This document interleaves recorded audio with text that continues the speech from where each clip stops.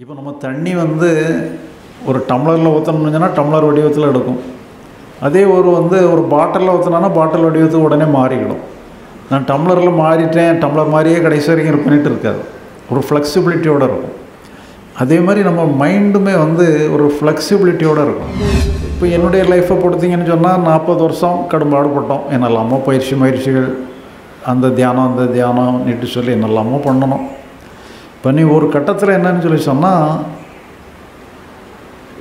எதுவுமே நமக்கு வேண்டாங்கிற மாதிரி ஒரு தன்மைக்கு வரும் பொழுது தான் அந்த மைண்டினோட ஃப்ளெக்சிபிலிட்டியே ஏற்படுது. இந்த ஆன்மீக அத்தனையுமே அக உலக ஒழுங்குனா என்னங்கிறத டிஸ்கஸ் பண்ணுறது புறம் சார்ந்ததை பொறுத்த அளவில் நீங்கள் வந்து பந்தத்தோடு தான் இருக்கணும். பொறுப்போடு தான் இருக்கணும். பொறுப்பு இல்லாமல் இருக்கிறேன் பந்தம் இல்லாமல் இருக்கிறேன்னு சொன்னால் சரியான வாழ்க்கையே வாழ முடியாது. Thank you.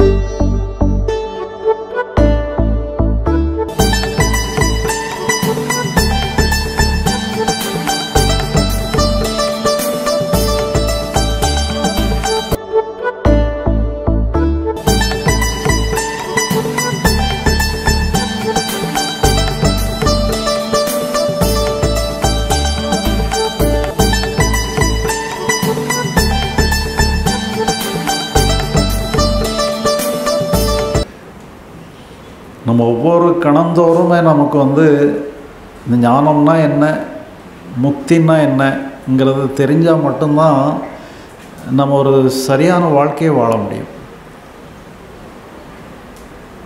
ஏன்னா உண்மையில் என்னன்னு சொல்லி சொன்னால் ஞானங்கிறது கூட பேருக்கு தான் சொல்கிறோம் உண்மையிலே ஞானங்கிறது ஒரு அண்டர்ஸ்டாண்டிங் தான் ஒரு இன்டலெக்சுவலாக ஒரு அறிவுபூர்வமாக புரிஞ்சுக்கிட்ட ஒன்று தான் ஆனால் லிபரேஷன் முக்தி மோட்சங்கிறதெல்லாம் அது ஒரு அண்டர்ஸ்டாண்டிங் கிடையாது. அது ஒரு ஆக்சுவாலிட்டி அது வந்து ஒரு நிகழ்வு. ஆனால் அது எல்லா நேரமும் கணந்தோறும் நடந்துகிட்ருக்கு ஒவ்வொரு கணந்தோறும் அந்த லிபரேஷனுங்கிறது நிகழ்ந்துகிட்ருக்கு அது நிகழ்ந்தால் தான் நம்ம ஆரோக்கியமாக வாழ்கிறோன்னே அர்த்தம். இது நம்ம சாஸ்திரங்களில் வந்து மனோலயம் மனோநாசம்னுட்டு ஒரு டெர்மினாலஜி சொல்லுவாங்க. இந்த மனோலயம்னு சொல்லி சொன்னால் இப்போ நமக்கு நண்பர் வராரு.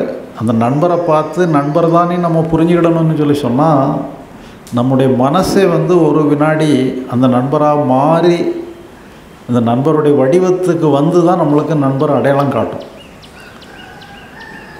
இப்படி அடையாளம் காட்டுற தன்மைக்கு பேர் மனோலயம்னு சொல்கிறது ஆனால் அந்த அடையாளத்தோடு அப்படியே இருந்துட்டுன்னு சொன்னால் புதுசாக நம்ம எதையுமே தெரிஞ்சிட முடியாது.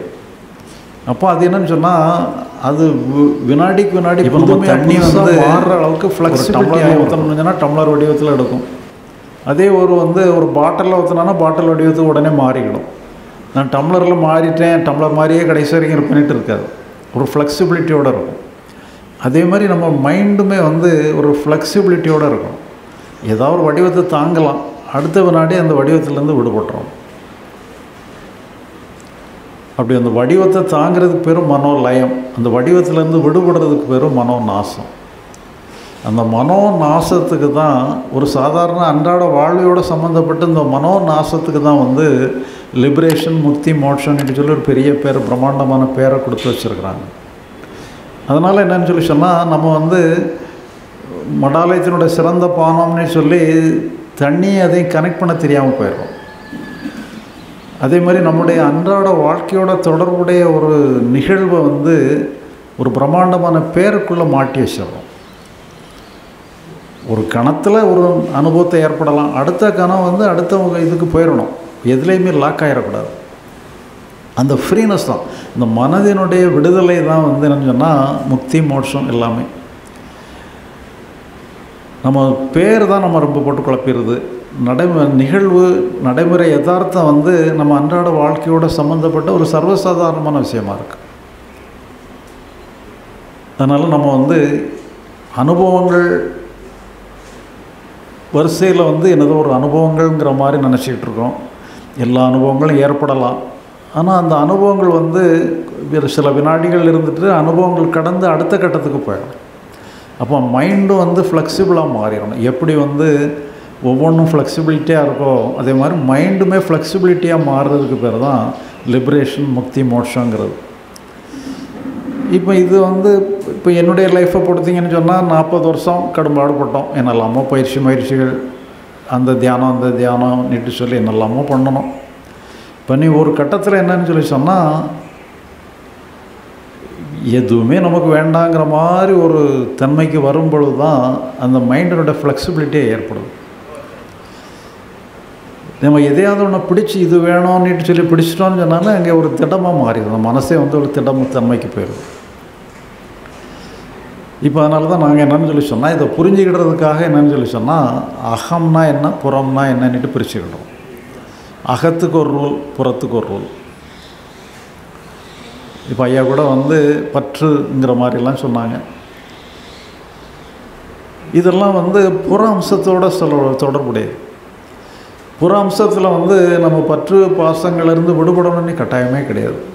நீங்கள் எல்லாத்தையும் வச்சுக்கிடலாம். பொருளை சேர்த்துக்கிடலாம் சுற்றங்களை சேர்த்துக்கிடலாம் அதில் எந்த தப்புமே கிடையாது. ஆனால் மனசு தான் என்னென்னு சொன்னால் ஃப்ளெக்சிபிலிட்டியாக இருக்கணும். உங்கள் உறவுகள்லாம் ஃப்ளெக்சிபிலிட்டியாக இருக்கணும்னு அவசியம் இல்லை. உல உணர்வு உண நம்ம உறவுகள் எல்லாமே வந்து ஒரு திட்ட அம்சத்தில் இருக்கிறது தான் கரெக்டாக இருக்கும்.